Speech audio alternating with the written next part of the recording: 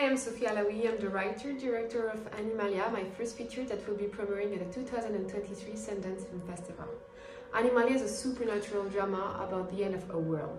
It's about questioning our certainties and beliefs that might stalk us. For me, it is more topical than ever, given the environment when we live and what we're experiencing today on a planetary scale.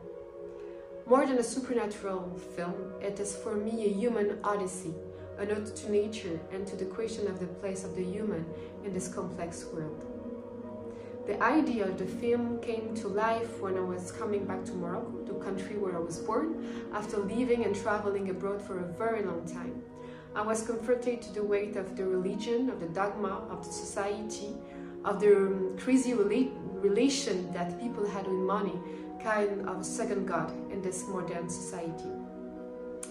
But at the same time, I was completely obsessed with aliens and universe and all those questions.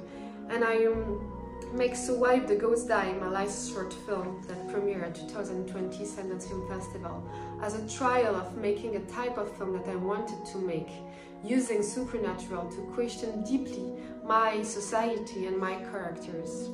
Film Festival is an amazing place where it will reveals new different voices and I'm super happy and super proud to be part of this selection. Um, can't wait to share the film with you guys and I hope you will enjoy it.